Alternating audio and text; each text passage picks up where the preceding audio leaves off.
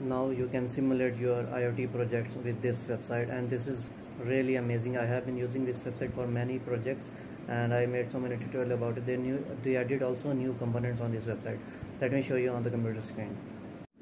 You need to go to this website called wokwi.com or you can see that uh, simulate with Wokwi online. You can you have arduino uno esp8266 also raspberry pi pico STM32 these two are the new uh, ESP32 before that they had ESP8266 now ESP32 is also available. STM32 is also available.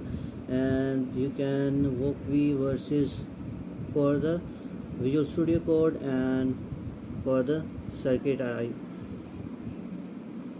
CI and also that we have the Rust and MicroPython. You can use these languages as well. You can also use the Arduino code and if you are expert in any of these you can use this website for the simulation. It's so many projects you can make it. I had so many projects on this website as well